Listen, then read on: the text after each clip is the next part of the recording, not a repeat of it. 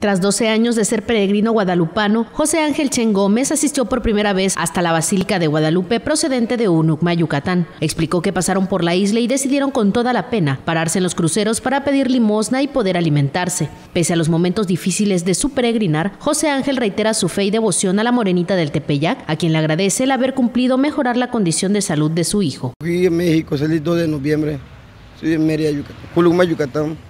Somos dos, yo y mi compañero. No comíamos, no tenemos dinero, estamos haciendo la cooperacha ahorita para comprar nuestra comida. Hicimos una promesa de mi hijo, esa vez y lo cumplimos. Esa vez que conocí México, porque es milagrosa la Virgencita de Tupayac. Si cumple las promesas que le pides, la promesa que dice mi hijo ya habla bien. Los peregrinos guadalupanos saldrían este día de Ciudad del Carmen hasta llegar a Unucma, Yucatán, y es que contemplan que se lleven 10 días, pues el 12 de diciembre deberán estar presentándose en la iglesia de San Francisco de Asís con la imagen de la Virgen de Guadalupe que pesa 15 kilogramos y que han llevado cargando en la espalda todo el trayecto. Con imágenes de Fabián Fernández, Perla Prado Gallegos, Telemar, Carmen.